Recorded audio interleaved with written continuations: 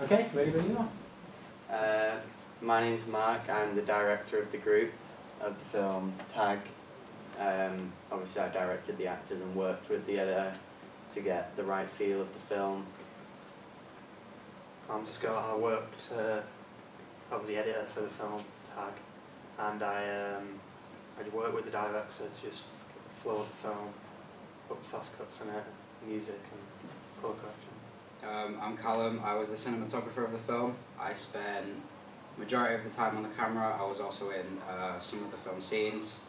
Uh, I worked with the director and the editor to make sure we got all the shots in the right place, make sure everybody knew where they were, make sure every scene was how we wanted it to be.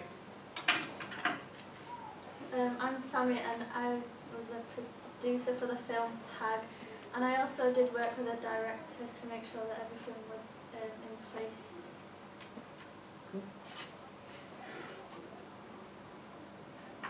Okay, do you want to talk me through the concept and characters?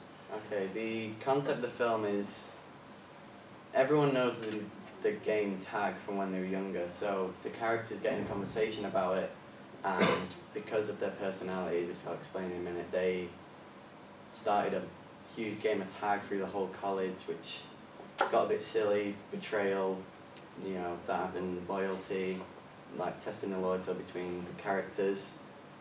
Um, my character was we basically played ourselves, just some more exaggerated versions of us. My character was Mark. Um, I, I'm, I, I like to push people's buttons um, as, as a character. um, and I'm not, I'm not stable in hostile situations, which you'll see in the film. Um, and I'm very competitive, which makes me, well, it starts the whole war and, and the tag. Uh, yeah. Um, my character's uh, willing to sacrifice himself if need be. Uh, he cares about his friends around him and yeah, just sacrifices them. Uh, my character is the instigator of most of the conversations in the class. Um, he's sly in a situation where he has to choose between himself and his friends. He'll majority of the time choose himself. Again, this is really exaggerated. Um, he isn't afraid of betraying someone, but for some reason doesn't understand why somebody would betray him. So he's sort of he's based around his own ego, really.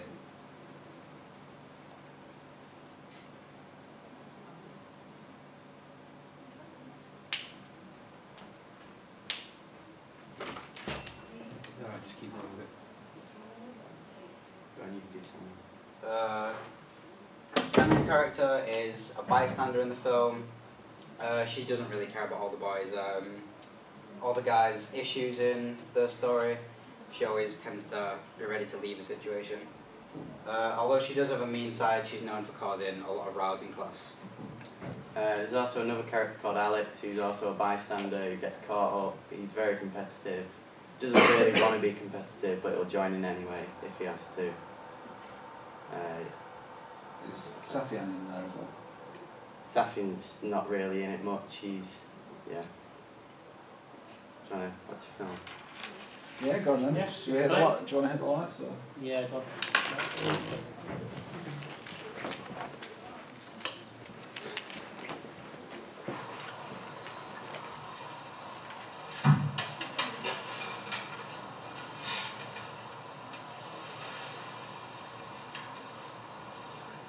Does anyone remember Tack? Tig. It was called Tig. No, it's touched on it. Tig. Do you really want to do this? Only joke you got.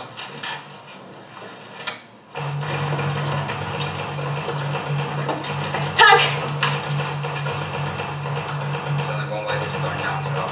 This for me getting away.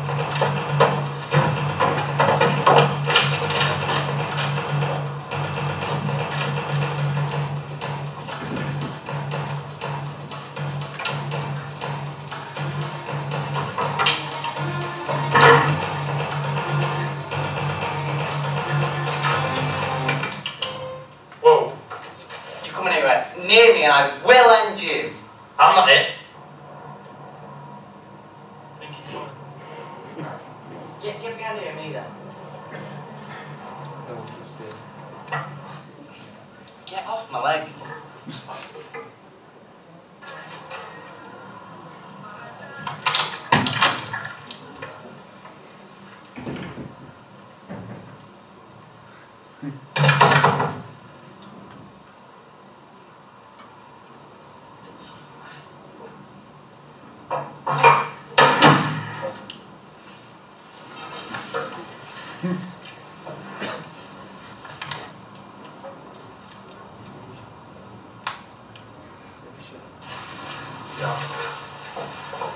Tag!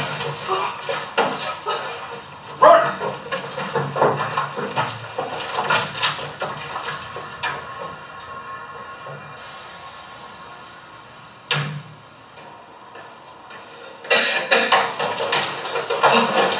Mark, what are you doing?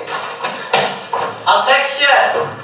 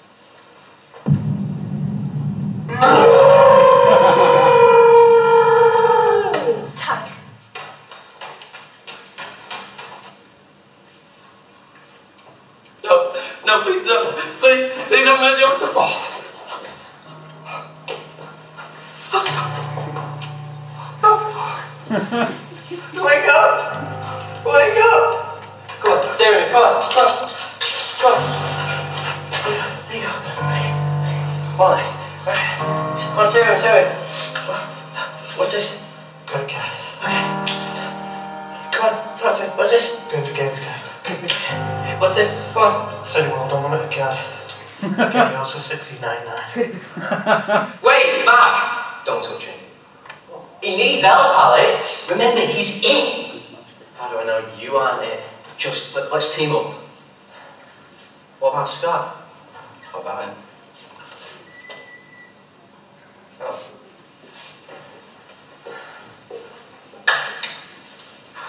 Come on, come on, come on, come on. What fight? I said like a, like a bullfight, fight like a big. That's wrong. No.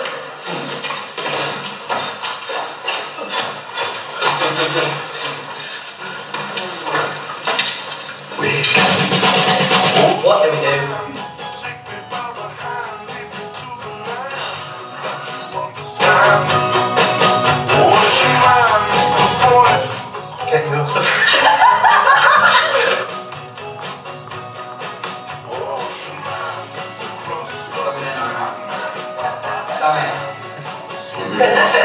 Alright, very, very well.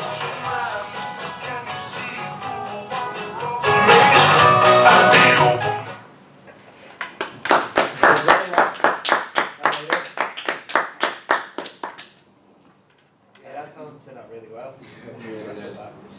It's very Um, funny. Who, Yeah. um, What? are we going questions first or? Uh, I think we generalise it first and then specifics we'll ask in a bit. Because there's questions on different job roles and stuff. Okay.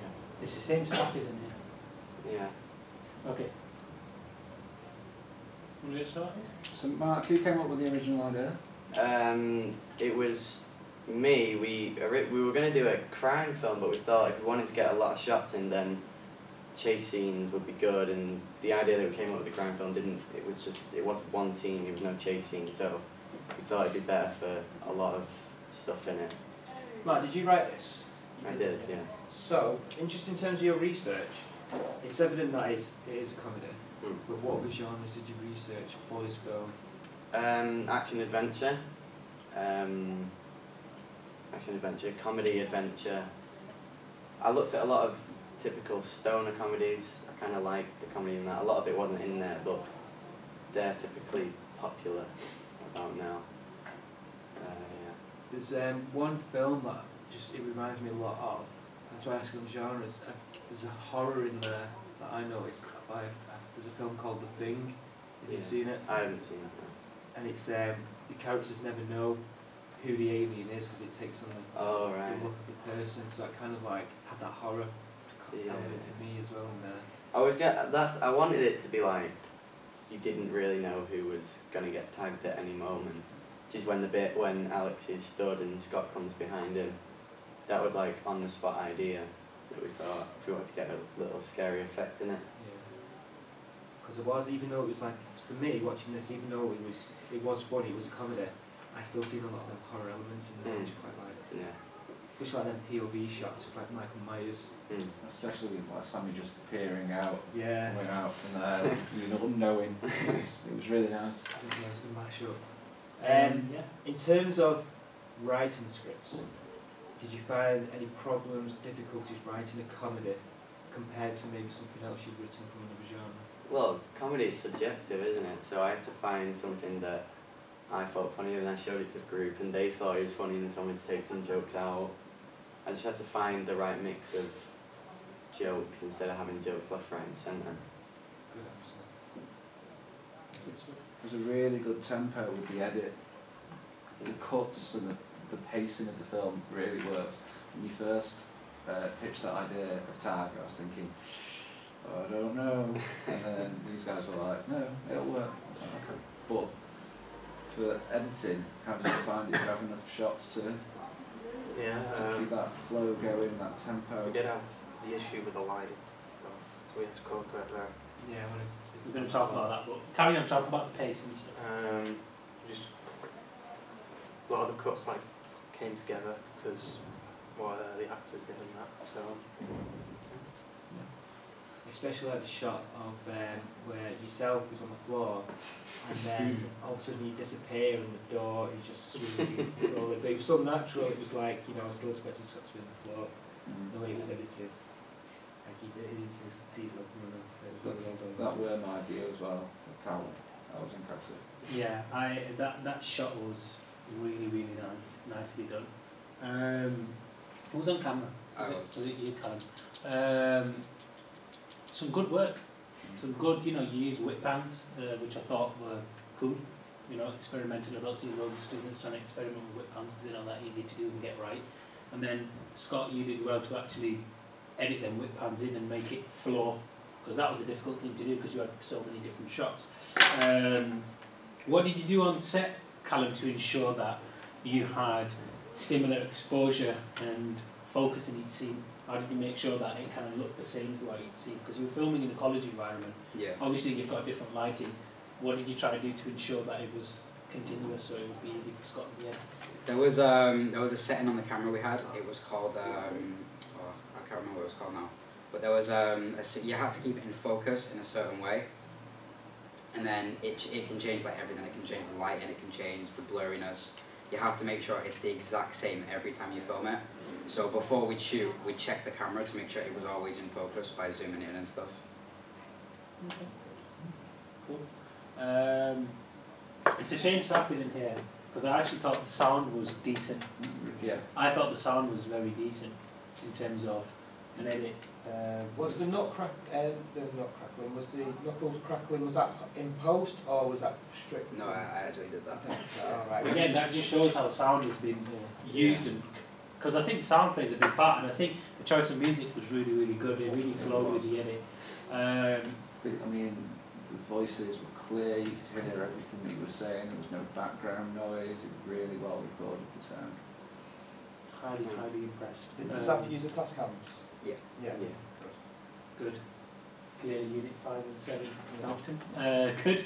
Um, other than that, um, obviously I'll talk to Sammy in a bit, but um, specifically, um, I'm going to direct this to each of you. But Scott, in terms of editing, what editing techniques did you look at in your contextual research, and what are some of the techniques you applied in the edit?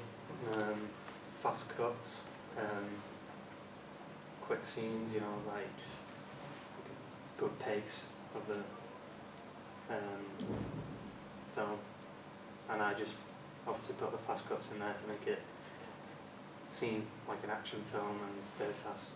What, what did you watch, you kind of research that showed you how, how to ma- how to make that pace of the edit? Did you do research into other films? not many. I mean, I, I, I looked at some comedy films and like maybe some Die Hard but Can you talk through the process of colour correcting? uh, well, obviously we had to, I had to go each scene, each shot, and uh, just change change the colour just to make it seem natural. Uh, I just asked because the end, you know, the uh, the funny moments, they were very orange, and they weren't in the film. So it's, and and then you have colour corrected, but each shot looked like the one previous, so it was well colour corrected. So did you like go in depth how you did it in Premiere? And we both kind of did it. Yeah.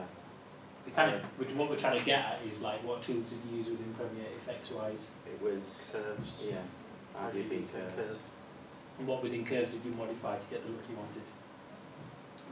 Um, we moved up the white one, uh, moved down the red and up the blue, so it seemed a little more natural instead of just really yellow or really. Do you know why you Red. moved the blue more than the, the rest?